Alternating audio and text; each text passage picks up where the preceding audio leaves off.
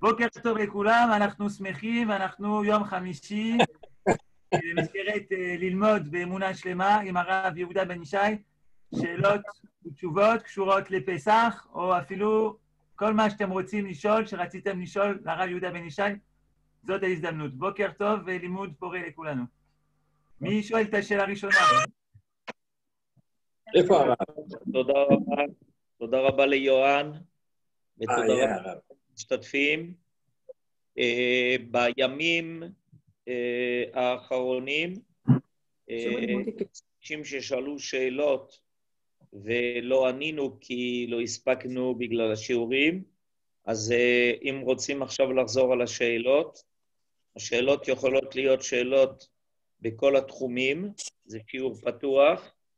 אתם יכולים לשאול גם בענייני פסח, גם בענייני שבת, גם בענייני הלכה וגם בענייני אמונה. כולם מוזמנים, בבקשה.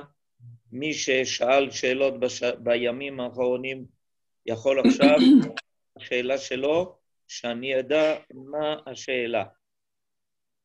השאלה הראשונה זה צום הבכורות. תענית בכורות, יפה. תענית, כן.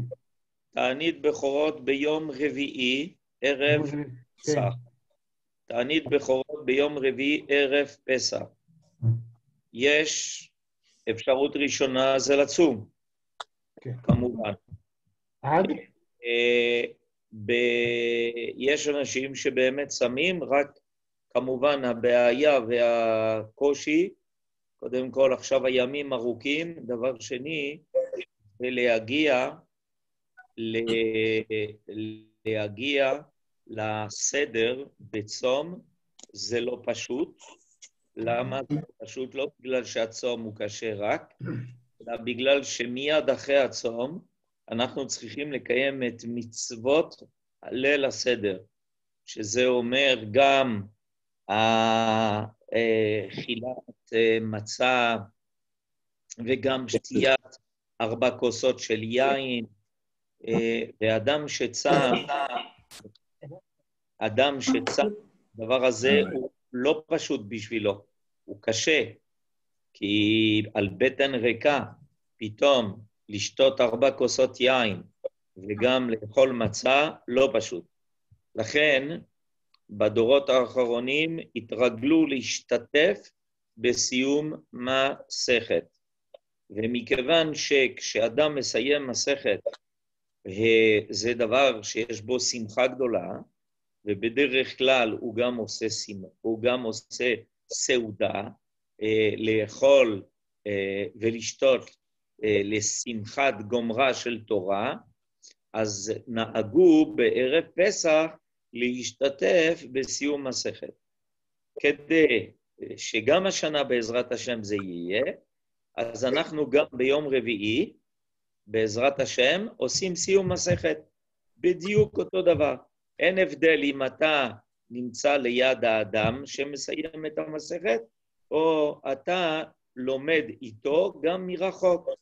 ולכן ביום רביעי הזה, כלומר שבוע הבא, ערב פסח, בעזרת השם, בשמונה וחצי, כדי שזה יהיה כבר אחרי תפילת שחרית, בשמונה וחצי, אה, בעזרת השם, פה בזום, יהיה. מסכת. מי שרוצה יכול להכין את המסכת. אני מסיים את המסכת, מסכת עירובין. מי שרוצה יבוא עם מסכת עירובין. שמונה וחצי, בעזרת השם, שבוע הבא יש סיום מסכת. מי ש... כיוון שאני לא יכול להעביר לכם בזום אה, אוכל, אז אני יכול להעביר לכם אוכל רוחני.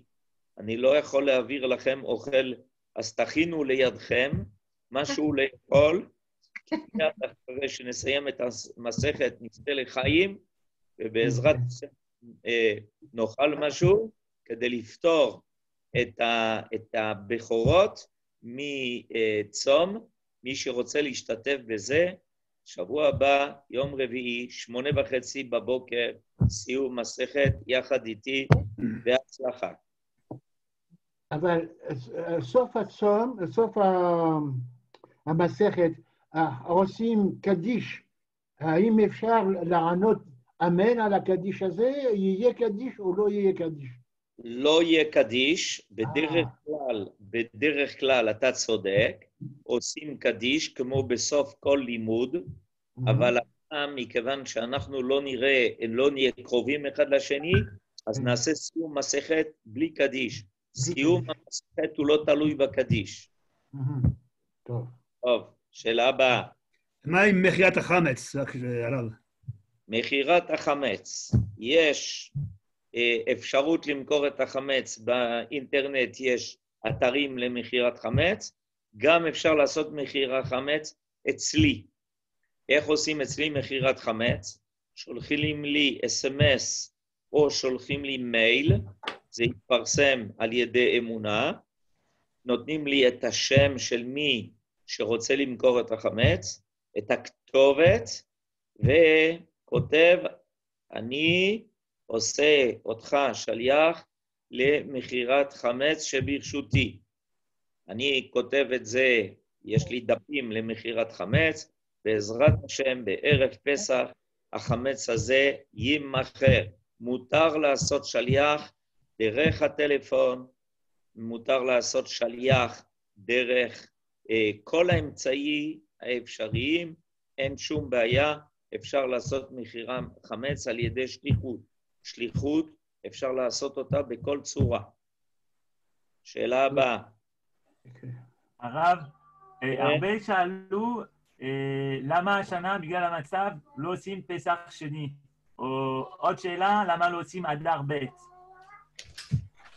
אז אה, אה, אני רוצה להסביר, כבר שאלו אותי את השאלה הזאת, ואני רוצה לחזור, ואני רוצה לענות לשאלה הזאת. אני חוזר על השאלה. שאלו למה השנה לא נדחה את פסח בחודש, כי אמרו שבעזרת השם עוד מעט המצב יסתדר, ואז אנחנו נוכל אה, לעשות פסח אה, יותר אה, מתוקנת, יותר מסודרת. השנה כל אחד יהיה בביתו, אולי יהיה נס עד אה, פסח הבא, עד, אה, עד שבוע הבא, בעזרת השם. אבל אם אנחנו הולכים כרגע לפי המצב ולפי הטבע ולפי ההוראות של הממשלה, אז כל אחד יעשה פסח בביתו. חלק מן האנשים מאוד קשה להם, כי הם יהיו לבד בבית בסדר, אבל עדיף זה מאשר פיקוח נפש, חס ושלום. למה אנחנו לא דוחים את פסח? אין שום אפשרות, אין שום אפשרות לדחות את פסח. לא על ידי אדר ב' ולא על ידי פסח שני, ואני מסביר למה. החגים נקבעו על פי החודשים. כלומר, קידוש החודש. היום אנחנו לא מקדשים את החודש, לא על ידי ראיית עדים ולא על ידי בית דין. אין לנו קידוש החודש היום. אנחנו אומרים היום ראש חודש, אנחנו מתכוונים להגיד שלפי החשבון שמסרו לנו החכמים והלוח שתיקנו, אנחנו יודעים שזה ראש חודש, אבל לא אנחנו מקדשים את החודש. כדי לקדש את החודש, חייב, je suis une Non, mais pas- חייבים סנהדרין. בלי סנהדרין אין קדושה לזמן. רק הסנהדרין קיבלו את הרשות לקדש את הזמן. אם לא, סנהדרין, אין קדושה לזמן. עכשיו, הסנהדרין התבטל בתחילת תקופת הגמרא, והם ראו כל השנים שיבואו עד בואו של המשיח, וקבעו כל ראשי חודשים, כל החגים, וקידשו אותם. הם. זה היה בתקופת הלל השני, לא הלל הזקן, הלל השני. כל מה שאנחנו עושים היום זה מתוך הכוח של הסנהדרין שישבו וקידשו את כל החודשים ואת כל החגים. אם אנחנו דוחים היום את פסח, זה אומר שני דברים. דבר ראשון, שחס ושלום יאכלו חמץ בפסח, ודבר שני, שהפסח שנקבע בעוד חודש לא יהיה פסח. כלומר, לא עשינו כלום. אין לזה שום תוצאה. ולכן, כיוון שאין לנו סנהדרין, עד שיקום הסנהדרין, אנחנו חיים על פי החשבונות והתאריכים שקבעו לנו בזמן שעדיין הייתה סנהדרין, וזה היה לפני הרבה הרבה הרבה שנים, 1,700 שנה. מאז אין לנו כוח לקדש את הזמן, רק לקרוא בלוח מתי יהיה ראש חודש ומתי יהיה חג. שאלה הבאה. אני רוצה לשמוע... אה, אני רוצה לשמוע ממך, כי שומעים גם ממשרד הבריאות, אה, כמובן, אה, שכל אחד צריך להיות בבית, אבל זה, זה בכל זאת כבוד הורים, להשאיר הורה זקן בבית לבד? כן. בכל זאת המצב? כן, שאלה מאוד מאוד חשובה ומאוד קשה. כולנו, כולנו, ברוך השם, יש לנו אה, כמעט, אה, להרבה אנשים, נגיד, יש הורים, והורים מבוגרים, והורים זקנים, ותמיד אנחנו אה, הזמנו אותם ועשינו אה, יחד איתם, זה באמת נקרא אה, כבוד, כבוד הורים, והשנה אמרו לנו בשום פנים ואופן, כי אתם מסכנים אותם, כי האנשים המבוגרים הם אה, אה, היום יותר פגיעים, כלומר, אה, הם יותר חלשים, מערכת החיסון, החיסונית שלהם יותר חלשה, ואנחנו חס ושלום עלולים לגרום להם לבעיות מאוד גדולות. ולכן, למרות הכל, עוד אתמול בערב, ראש הממשלה חזר ודיבר על זה, שבשום פנים ואופן לא אה, לשתף אה, אנשים מבוגרים בסדר שלנו. אז אה, נכון, יש לנו מצוות של כיבוד אב ואם, אבל כיבוד אב ואם אה, הגדול ביותר זה לדאוג לבריאות שלהם, ובמיוחד אם יש בבית ילדים קטנים שמסתובבים, אנחנו לא יכולים לסכן אותם. מה אנחנו כן יכולים לעשות? אה, למרות שאנחנו יודעים כמה זה קשה, כמה זה כואב לנו, כמה אנחנו היינו רוצים שיהיו איתנו ואנחנו איתם, אנחנו השנה נצטרך להישמע להוראות של משרד הבריאות, כבר שאלו אותי הרבה פעמים. אה, אני מדבר גם מתוך ניסיון, הדבר הזה הוא מאוד לא פשוט. איך אנחנו בכל זאת יכולים קצת להקל, להקל על המצב? אז אני אגיד כמה דברים שכדאי לעשות כדי להקל קצת. דבר ראשון, להגיד להורים שאנחנו לא שכחנו אותם, ואנחנו מצטערים ובצער, ובעזרת השם באותו רגע שההוראה תתבטל, אנחנו נשמח מאוד לחזור להיות איתם. הם צריכים לשמוע את זה, כי אולי יחשבו ששכחו אותם ועזבו אותם.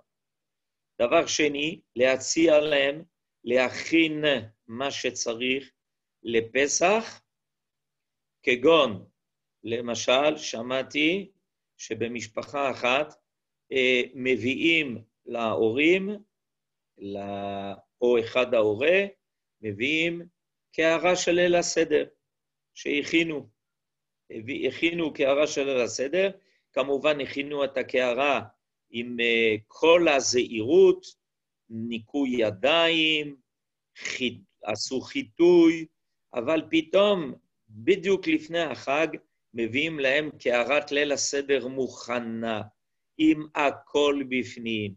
מה זה עושה? דבר ראשון, יכול להיות שההורה אין לו מה שצריך. לקערה של ליל הסדר. דבר שני, יכול להיות שהוא לא יודע איך להכין הקערה של ליל הסדר.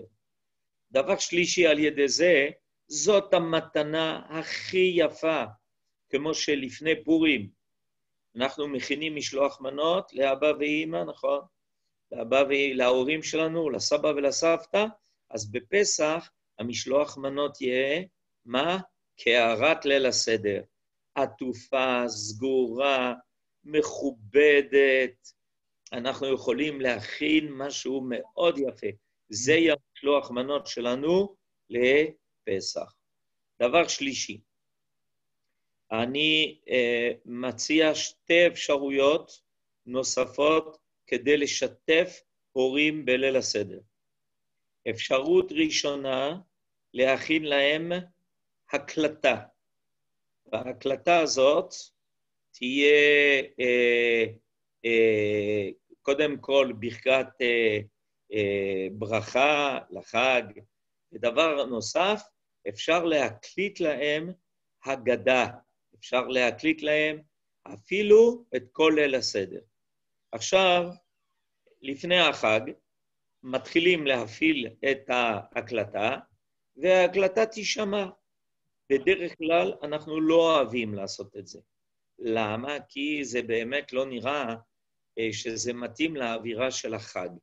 אבל השנה, בגלל המצב המיוחד, ייכנס החג, ההורים ישמעו את ההקלטה וישמעו את המנגינה של ההגדה, והדבר הזה אין בו איסור, כי זו הקלטה מראש, ועצם שמיעת ההקלטה לא תהיה בזה בעיה באותו רגע שאנחנו לא נוגעים במכשיר. אפשר, אה, אפשר לעשות את זה בלי הקלטה. שעה לפני כניסת החג, להתקשר להורים, אם יש מישהו ב... ב... אה, נגיד עם ההורים, יש אדם שאינו יהודי. שעה לפני החג הוא יכול להפעיל, אצלנו זה לא חג, זה שעה לפני החג. צאת הכוכבים, אפשר להתחיל נגיד בסביבות השעה שש וחצי. בשש וחצי אפשר, אם יש אינו יהודי בבית של ההורים, מטפל, שהאינו יהודי יפעיל את המכשיר, ואנחנו יכולים לעשות להם את הסדר כשהם, בשבילם זה יהיה ממש הסדר של פסח. בשבילם זה יהיה הסדר של פסח. הדבר היחיד שחייבים צאת הכוכבים זה רק אכילת מצה.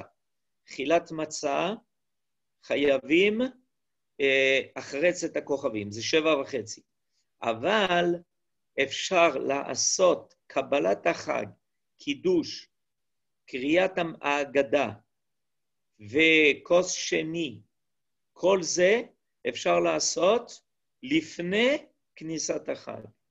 ואז אצלם זה יהיה חג, ואנחנו אצלנו לא חג. לכן, מה מותר לנו לעשות?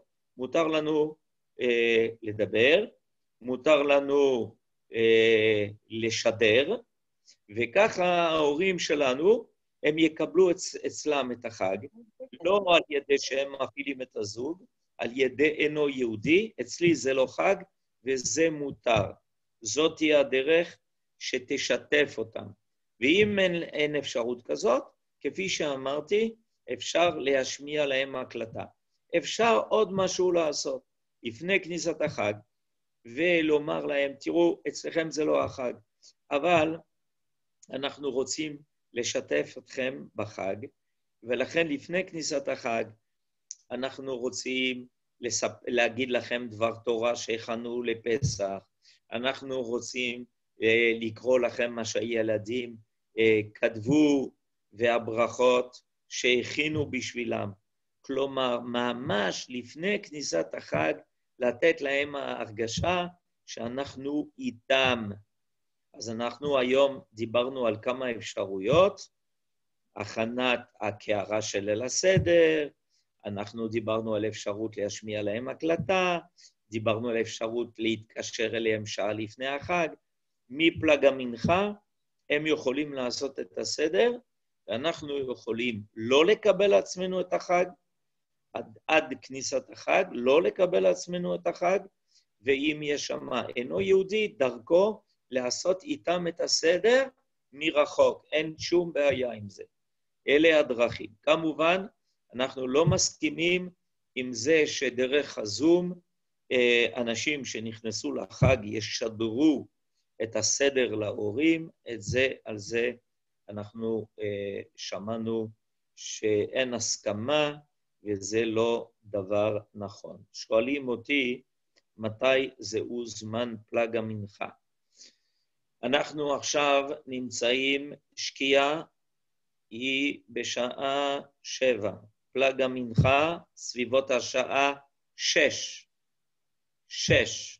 אם רוצים לעשות את זה עד בין שש לשבע, כלומר עד לפני השקיעה, אין בעיה. שעה לעשות את כל הסדר זה מספיק, במיוחד כשמדובר בהורים מבוגרים, אז אחר כך אם הם רוצים להישאר ורוצים לקרוא לבד עם עצמם, אין בעיה. אבל אני יכול לעשות איתם סדר שעה שלמה, משש עד שבע, כי השקיעה היא אחרי שבע. לכן פלג המנחה, שעה שש. שאלה הבאה. סליחה, הרב. אה, כדי לעשות סדר, יש כל מיני שאלות אנשים רוצים לשאול, אז אנחנו נתייחס אה, לשאלה של אה, גברת ווזנה, ואחר כך אבלין, ואז בצ'אט. בבקשה, אתה תעשה את הסדר. אז... לא שומעים אותך, מרגלית, לא שומעים. טוב, זה לא... עכשיו שומעים? עכשיו שומעים, כן. ברוך השם. כבוד הרב, תודה רבה על הכל. רציתי, יש לי שתי שאלות. השאלה הראשונה, אם אין מצה שמורה, האם אפשר, כי זאת הזדמנות עוד פעם לצאת ולא לא מומלץ לצאת כדי לקנות, לא קניתי מצה שמורה, האם אפשר לעשות את הסדר עם מצה רגילה? הש... השאלה השנייה, למה לא מברכים אה, כמו אה, אה, לפני לקרוא את המגילה? למה אין ברכה לפני אה, אה, אמירת אה, אגדת הסדר? תודה רבה רב.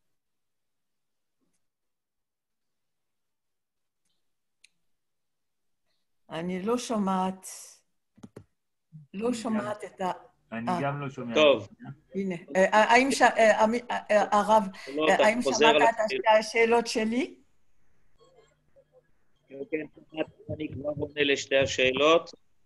שתי השאלות. שאלה ראשונה, מי שאין לו מצה שמורה, אז אני אה, אה, ממליץ, דבר ראשון, יש לנו עוד שבוע, היום אנחנו יום חמישי, ליל הסדר זה ביום רביעי, לילה הבא.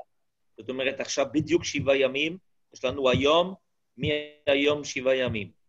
לעשות כל מאמץ כדי להשיג לפחות שלוש מצות שמורות.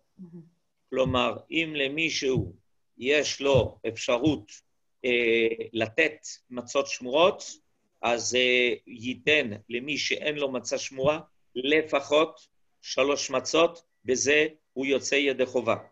מי שלא יצליח להשיג מצה שמורה, ברור שהוא יעשה את הסדר עם מצות, כי זה עדיין מצות, ברור. אבל הטוב והדבר הנכון הוא לעשות לפחות שלוש מצות שמורות. בחנויות יש היום מצות שמורות, בדוק. אנחנו בדקנו, ראינו, יש בחנויות מצות שמורות. ולפעמים אנשים קנו הרבה מצות שמורות, אז לפחות לנסות להשיג שלוש מצות שמורות. אין מצה שמורה, אין מצה שמורה, אז לפחות עושים את הסדר עם מצה רגילה, זה האפשרות היחידה. השאלה השנייה, למה אין ברכה על אה, הסדר ואין ברכה על ההגדה. אני כבר עניתי לשאלה הזאת, אני חוזר על התשובה. יש תשובה ראשונה, כי אומרים שהקידוש זאת הברכה. כשאנחנו אומרים את הקידוש, אנחנו לא עושים רק קידוש, אנחנו גם עושים את הברכה על הכוס הראשונה מארבעת הכוסות. זה בעצם תחילת ליל הסדר. הקידוש זה תחילת ליל הסדר. לכן הברכה של הקידוש היא גם טובה לסדר כולו. הדבר השני, יש אומרים שהגדה של פסח זה דבר שאין לזה שיעור, אחד המרבה ואחד המעמיד, אז uh, יוצאים ידי חובה, במצווה שאין בה שיעור לא מברכים עליה, אבל נחזור. עיקר העניין, כשאנחנו עושים את הקידוש, ואנחנו מברכים שהחיינו בקידוש של הלילה הראשון, אנחנו מתכוונים בברכה הזאת שהחיינו, לפתור את כל המצוות שנקיים באותו לילה. שאלה הבאה. תודה רבה, רב. אה, אבלין? אבלין, לא... היא לא פה. אז נעבור לצ'אט. אה, משה קצל... לא, יש לי שתי שאלות, בבקשה, אה. שתי שאלות. אוקיי. שתי שאלות. הראשונה, למה אנחנו צריכים לשתות ארבע כוסות? אה, שאלה שנייה, אה, שמעתי שיש קשר גדול מאוד בין הדם של המילה והדם של הקורבן פסח. והיהודים היו צריכים לעשות אה, מילה וגם אה, ה- ה- ה- קורבן פסח כדי לצאת מה- מה- מה- מהעבדות. טוב, אז אה, יש פה אה, שאלה אה, לגבי, השאלה הראשונה הייתה לגבי ארבע כוסות. למה למה? אנחנו צריכים... כן, כן, למה ארבעת הכוסות? חכמים נתנו הרבה סיבות לארבעת הכוסות. סיבה ראשונה, ארבע לשונות של גאולה.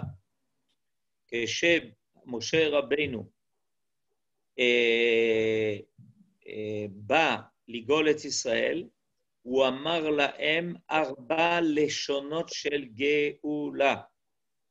ארבע לשונות של גאולה האלה מופיעים, אה, מופיעות, מופיעות בפרשת וארא. וכנגד ארבע לשונות של גאולה, גדלתי לא. וגרתי ולקחתי, כנגד ארבע לשונות של גאולה, חכמים תקנו שתיית ארבעת הכוסות. וכמובן, סיבה נוספת, היא ברור שאנחנו צריכים להיות בשמחה. הרי הקדוש ברוך הוא הוציא אותנו ממצרים, אנחנו עכשיו באים לשמוח את שמחת הגאולה, נכון? אז איך יש שמחה? אין שמחה אלא בבשר ויין. אז הבשר אנחנו נאכל בשולחן עורך, בסעודה. היין זה ארבעת הכוסות שצריכים לשמוח בלילה הזה. אז ארבעת הכוסות זה השמחה. זה השמחה, זה ארבע לשונות של גאולה. כתוב שזה גם ארבע כוסות של פורענות שיבואו על כל אלה שפגעו בעם ישראל במשך הדורות. אבל העיקר, ארבע לשונות של גאולה. עכשיו, שאלה שנייה מאוד יפה, מה הקשר בין קורבן פסח וברית מילה? שהרי, דבר ראשון, אסור להקריב קורבן פסח בלי מי שלא עשה ברית מילה. ואסור שכל מי שישתתף בקורבן פסח יהיה בלי ברית מילה. ודבר שני, כששמו את הדם על הבתים, זה גם היה דם של הברית מילה ודם של קורבן פסח. בדמייך חיי, בדמייך חיי. אז אה, מה הקשר? הקשר הוא ככה. קורבן פסח זה באמת, לקחנו את המצריות המצריות זה היה אצלם השה, האליל שלהם. אליל זה הכוונה, הדבר שאני רואה בו כוח, אני רואה בו סמכות, אני רואה בו מה שקובע את העולם שלי, את סדר החיים שלי. ככה המצרים האמינו, שמה? שהחיים זה חומר. לכן, מה נתנו לנו לעבוד? בחומר ובלבנים. ברית מילה זה תיקון חומר הגוף. אסור לאדם להיות עבד לתאוות שלו, ליצרים שלו. אסור לו. הוא צריך לתקן את זה. הוא צריך, הוא צריך לחיות את החיים בצורה טובה, טבעית, אבל מתוקנת. אז לכן עושים ברית מילה. ברית מילה זה תיקון המציאות הגופנית של האדם. קורבן פסח זה תיקון המציאות החומרית של כלל העולם. שהמצרים לקחו את החלק הכי חומרי של קיום העולם והפכו את זה לאליל. כל התרבות המצרית הייתה בנויה על חומריות, ולא האמינו בכוח אחר. לכן פרעה אמר למשה רבנו, מי השם אשר אשמע בקולו? כלומר, אנחנו חיים בעולם בלי קול השם. אנחנו חיים, הכל זה תמיד בא מבפנים. אנחנו חיים את העולם רק לפי מה שגלוי, לפי מה שאנחנו פוגשים בחוץ. אין נשמה לעולם. לפי המצרים, אין נשמה לעולם. ולכן הם ישתדלו להשאיר את האדם בצורתו בלי נשמה, כדי להגיד, אתם רואים? זה לא בגלל הנשמה שאדם קיים.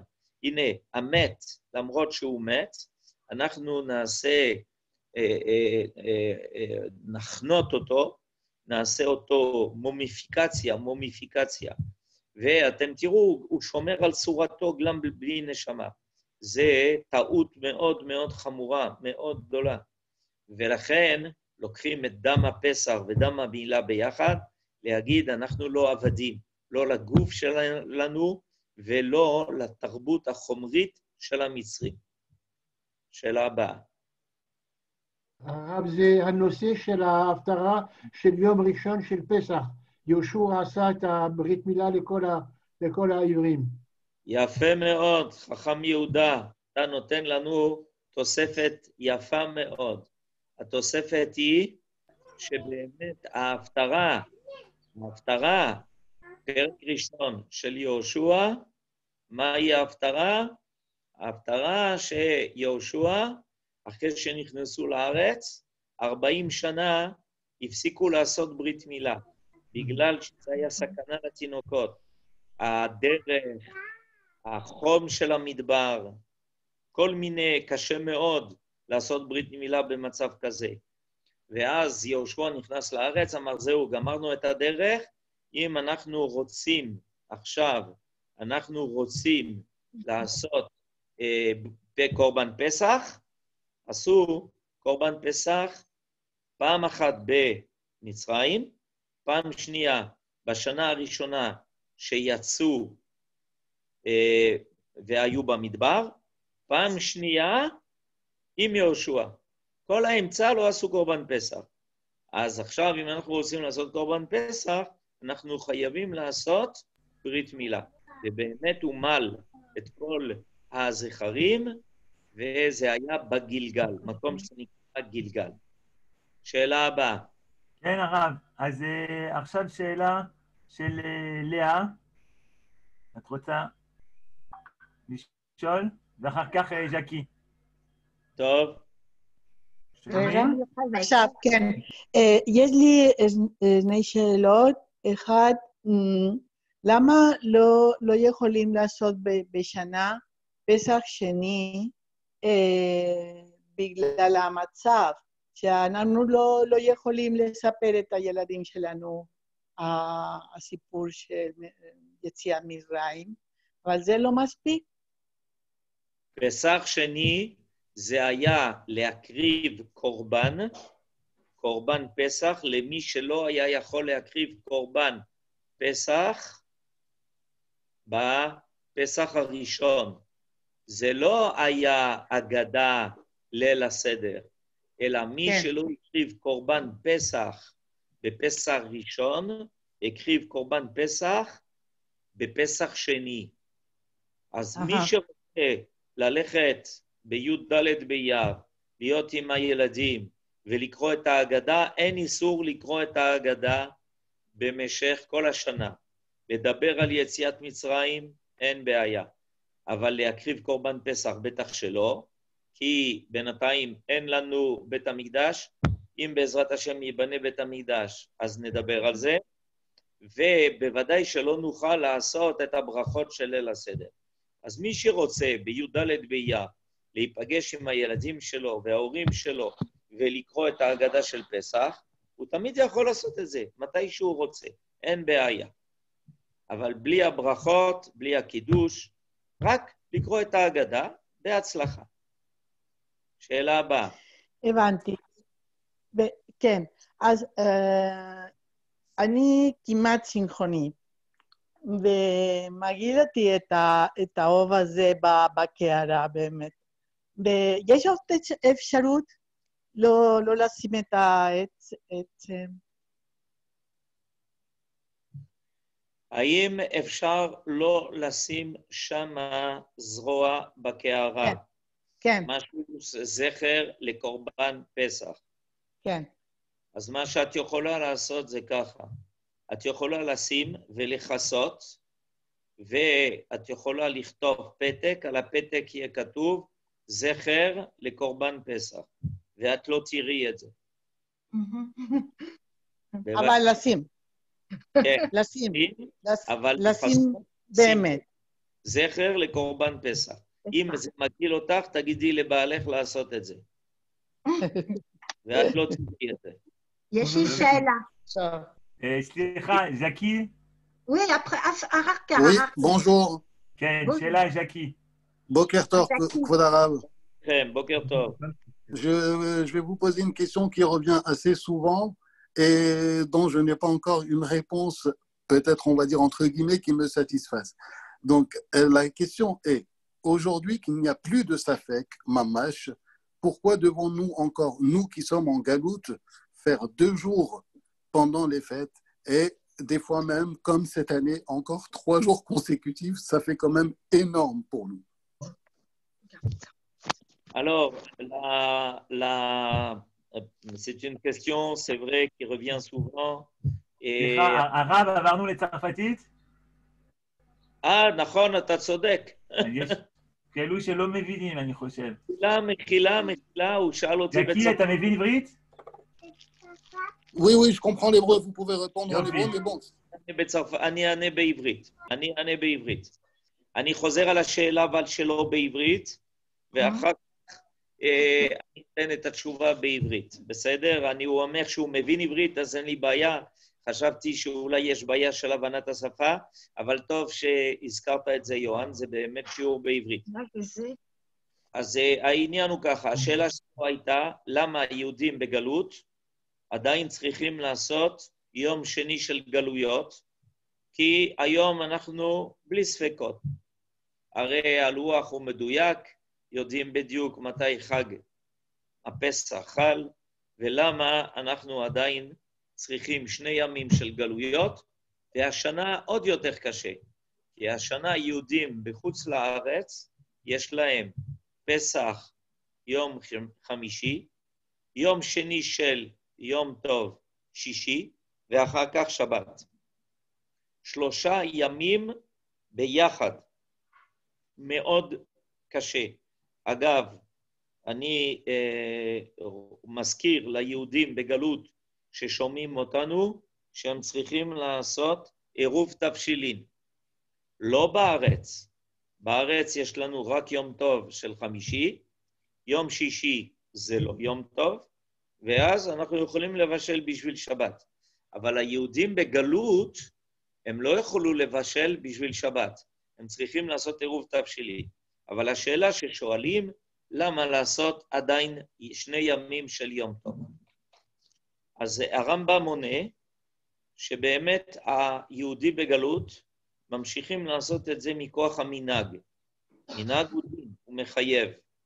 למה יש עדיין מנהג כזה? מה המשמעות של המנהג הזה? דבר ראשון, להזכיר ליהודים בגלות שהם בגלות. ובאמת, זה סימן ניכר. כמה היום, כמה היום היהודים היו רוצים להיות כאן, בארץ ישראל, במיוחד בפסח. תאמינו לי, ראיתי אתמול אה, סרט עם רב מאמריקה, ובסרט ראיתי אותו בוכה. אתם יודעים מה הוא אמר בסרט? הוא אמר ככה, אנחנו נשארנו בגלות בגלל שהיו לנו הרבה סיבות. דבר ראשון, אמרנו, אנחנו נשארים בשביל הילדים. השנה אנחנו נהיה בלי הילדים. נשארנו בשביל הקהילה. השנה נהיה בלי הקהילה. השנה נשארנו בשביל בית הכנסת. השנה בית הכנסת סגור. נשארנו בשביל הישיבות. השנה הישיבות סגורות. אז מה עשינו? למה לא עלינו? אם היו נותנים לי לעלות עכשיו לארץ ישראל, הייתי לוקח את כל המשפחה שלי ועולה מיד. אז יש פה אה, דבר שמזכיר את המצב הגלותי, וכדאי לשים לב לנקודה הזאת. דבר שלישי, אה, בארץ ישראל אנחנו מרגישים מאוד בקלות את אה, מדרגת מציאות החג, מאוד בקלות. כי החג הוא פה ברחוב, החג הוא באוויר, החג הוא כללי. כל הדברים מתנהלים על פי חגים כאן בארץ ישראל. בחוץ לארץ, תחושת החג, תחושת הפסח, היא אה, דורשת יותר, אה, יותר ריכוז, יותר אה, ביטול מלאכה, יותר הרגשה שעוד חג ועוד חג כדי קצת להרגיש את זה, כי שמה החוץ הוא לא קדוש. מה שקדוש זה רק או בבית או בבית הכנסת. הרחוב אין בו קדושה. בארץ ישראל יש קשר מאוד גדול בין הפנים לבין החוץ, ובין החוץ לבין הפנים. ולכן אנחנו יכולים להישאר עם עיקר הדין של יום טוב אחד בלבד. נברך ונתפלל ונקווה שכל אחינו בית ישראל שנמצאים בגלות יוכלו מהר מהר לצאת ממצרים ולהתחבר אלינו, להיות כאיש אחד בלב אחד, ומי כעמך, כישראל, גוי אחד בארץ. אמן. סליחה, סליחה, כבוד הרב, אה, אה, זה אותה שאלה, אבל שמעתי את, את התשובה על פי אה, הרמב"ם, אבל היום, ברוך השם, יש לנו גדולי הדור, גדולים גדולים בתורה, הם לא יכולים לבטל את הזה, לא. ו, ונגמר הספק? אז אתה שואל שאלה מאוד חשובה, כי השאלה הזאת שואלים אותה על הרבה דברים, על הרבה מנהגים. חכמי אשכנז אסרו קטניות, אף אחד לא יכול לבטל את זה. אסור להם לאכול קטניות. תגיד, זה מנהג, אבל היום חלק מן הסיבות של המנהג התבטלו, נכון? הם לא יכולים לבטל את זה. אין היום גם גדולי הדור שיש להם כוח לבטל מנהגים שנקבעו ונתקבלו על ידי ישראל. לזה אנחנו נצטרך את הסנהדרין.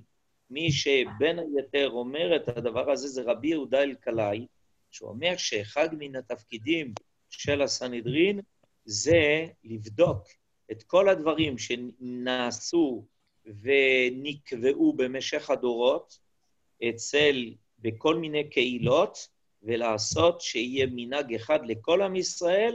בינתיים אין כוח גם לרבנים של היום, גם אם הם מאוד גדולים, הם לא מגיעים למדרגה שהסנהדרין מגיע אליה, ואני אגיד לך סיבה פשוטה. היא שגם היום, עם כל הגדולים, יש עדיין אי הסכמה. זאת אומרת, סנהדרין זה בית דין שמחייב את כולם באופן שווה, אבל היום מישהו יגיד לך, תשמע, זה גדול הדור בשבילו ולא בשבילי. השני יגיד, זה גדול הדור בשבילי ולא בשבילו.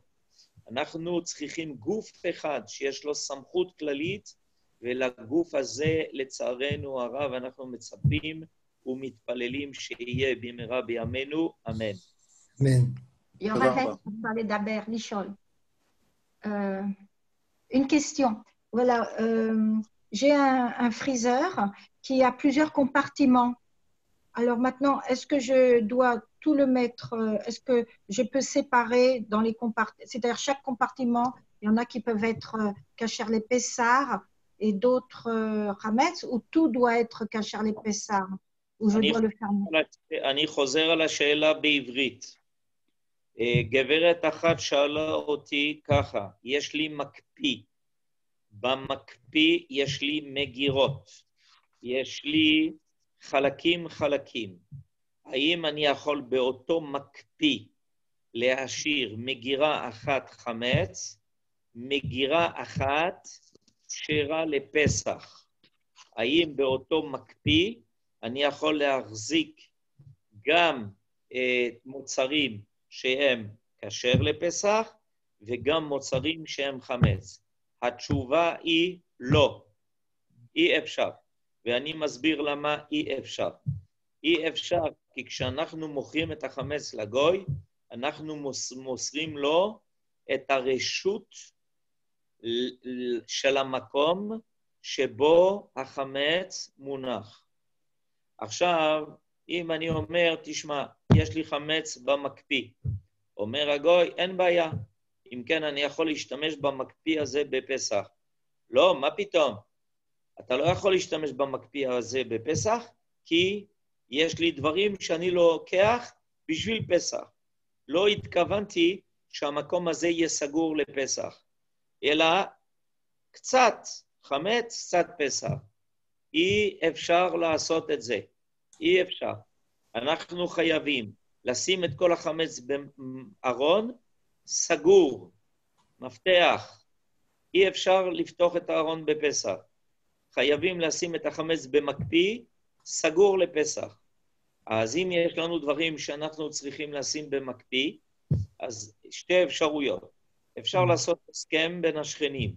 מקפיא אחד כשר לפסח, מקפיא אחד חמץ. וכל אחד ירשום, בסדר? מהו שלו, מהו של חברו. אפשרות שנייה, אני משתמש במקפיא של המקרר. נגיד, אני משאיר את המקרר לפסח, והפריזר של המקרר יהיה לפסח.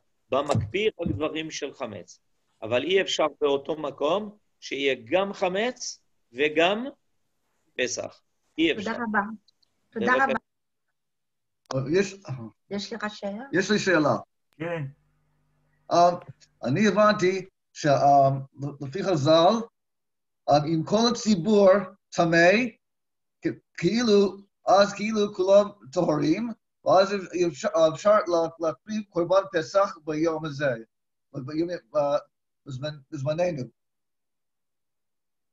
אני, לא יודע אם הבנתי את ה, בדיוק את השאלה. ש- אתה אמרת שאם כל הציבור מסכים להזיז את פסח, אפשר לא, להזיז לא, את אם, לא, אני הבנתי לפי חז"ל, אם כולם טמאים, כמו טמא טמא מת, כאילו כולם טהורים, ואז אז, אה, אה, אפשר לה- להקריב אה, קור- קורבן ציבור- ציבורי בזמננו. כן, אני שומע עכשיו את השאלה. נכון, יש חכמים שרצו להתיר את זה, להקריב קורבן פסח בזמננו, אבל לא הסכימו עם דעתם, ובינתיים הרבנות אף פעם לא התירה דבר כזה, וההסבר הוא על פי מה שכתוב ברמב"ם. מה שכתוב ברמב"ם הוא שיהיה אפשר להקריב קורבן, אלא על המזבח. והמקום של המזבח הוא מאוד מדויק, ואנחנו לא יכולים לדעת את המקום של המזבח בימינו, אנחנו לא יכולים לדעת, ורק נביא יכול להגיד לנו מהו המקום המדויק של המזבח. רק נביא. כיוון שאין לנו נביא, אין לנו אפשרות לדעת איפה מקום המזבח, לכן אין לנו אפשרות להקריב קורבן פסח. בבקשה, שאלה הבאה. עוד שאלות, חברים? כן. כן, בבקשה. מישהו רצה שנזכיר שוב את אה, כן. איך, אה, איך עושים עם הביאור חמץ. איך אנחנו השנה עושים עם ביאור חמץ? טוב, אפשרות ראשונה, מי שמאוד רוצה לקיים את המצוות ביאור חמץ רגילה, הוא יכול לקחת, קודם כל, כשאנחנו השנה הולכים לפי המנהג לשים עשרה פתיתים, חבילות קטנות עם קצת חמץ בבית, נשים מעט, מעט, מעט חמץ בתוך חבילה. לא חתיכה גדולה, חתיכה מאוד קטנה. אחר כך, למחרת, כשאנחנו רוצים להיפטר מן החמץ, בדרך כלל שורפים. זאת הבעיה, אנחנו רוצים לשרוף את החמץ. מי שיכול לעשות את זה ליד ביתו, אש מאוד קטנה בתוך כלי. שימו לב, בתוך כלי. לקחת כלי, לשים בזה קצת עצים, קצת נייר ולשרוף אותו, בבקשה. מי שלא יכול לעשות את זה, הדרך היא לזרוק את זה בשירותים. דרך נוספת היא, לפני שאת החמץ הזה, מה אנחנו עושים? לפני שמגיע זמן האיסור, אנחנו שופכים על החמץ דבר שמקלקל אותו. מהו הדבר שמקלקל אותו? למשל, אקונומיקה. למח... למשל, חומר חריף, שאחרי שאתה שופך את החומר הזה על החמץ, החמץ הולך להיות לא ראוי, גם כלב לא יאכל אותו. זה נקרא לבאר אותו. כשאני מקלקל את הטעם של החמץ, והוא לא ראוי לאכילה, אני לא יכול לאכול אותו. מי שיאכל את זה ימות, כי מי ששותה אקונומיקה הוא מת. או אם אני שופך עליו נפט, גם אם אני לא שורף אותו, אני בעצם ביטלתי בזה את החמץ. זה יהיה כמו ביאור חמץ השנה. כן, עוד שאלה? כן, יש לי שאלה. כן. אם, אם ה... סליחה, אם ה... שלום רב. Euh, אם ה... Ah, je vais le dire en français, ça ira plus vite. Euh, justement, quand on ne peut pas brûler ce Hametz à la maison, si on ne peut pas brûler le Hametz à la maison, au niveau de la bracha, ce que j'avais entendu, qu'on devait le mettre, euh, le Hametz qu'on a cherché, on devait le mettre dans l'eau de Javel et tout ça. Mais au niveau de la bracha, est-ce qu'on va faire la même, la, la même bracha que d'habitude ou est-ce qu'on va, est-ce qu'il y a quelque chose qui change? אני חוזר על השאלה בעברית. שאלו אותי עכשיו, הגברת הזאת שאלה אותי, אם השנה אנחנו לא שורפים את החמץ, אלא עושים מה שאני אמרתי, בסדר? האם הברכה משתנה? אז זו שאלה מאוד חשובה, השאלה הזאת. אתם יודעים למה? כי אין ברכה על שרפת חמץ. לא השנה ואף פעם אין ברכה. הברכה היא על ביאור חמץ, שאנחנו מברכים אותה, מתי? בליל בדיקת חמץ. זאת אומרת, בזמן שאנחנו שורפים את החמץ, אנחנו לא מברכים. מתי אנחנו מברכים? ביום שלישי בערב, בזמן בדיקת חמץ. מה אנחנו מברכים? אשר קידשנו במזוותיו וציוונו על ביאור חמץ. לא כתוב שרפת חמץ, כתוב, אה, כן. אז הברכה היא לא משתנה, והברכה היא לא בזמן השרפה, הברכה היא בזמן זיקת חמץ. לכן גם השנה, שאנחנו לא שורפים את החמץ, אין הבדל. בזמן בדיקת חמץ אנחנו עושים את הברכה על ביעור חמץ, אחרי זה עושים ביטול חמץ פעם ראשונה, ולמחרת, אחרי שאנחנו ביטלנו, אנחנו טיפלנו בחמץ כמו שאנחנו יכולים, אנחנו נגיד. ביטול חמץ פעם שנייה, כמו שאנחנו עושים כל השנים. זה לא משתנה. מי- תודה רבה. מי שהוא לא בביתו ביום שלישי בערב, והוא יוצא מיום שני או ביום ראשון, הוא עושה בדיקת חמץ בלי ברכה. נכון, מי שעוזב את הבית שלו, אני לא יודע איך הוא עושה את זה השנה, לעזוב את הבית שלו, לא, אבל אם הוא עוזב את הבית שלו לפני יום שלישי בערב, הוא חייב לעשות בדיקת חמץ בלי ברכה, אבל בדיקת חמץ רגילה, כמו שצריך, אבל בלי ברכה. תודה רבה לכולם. תודה רבה. תודה רבה. תודה רבה. להיפגש ולענות תודה לשאלה. רבה. וכפי שיוהן אמר לכם, הערב יש שיעור אה, בשמונה עם אשתי, בתשע איתי בצרפת.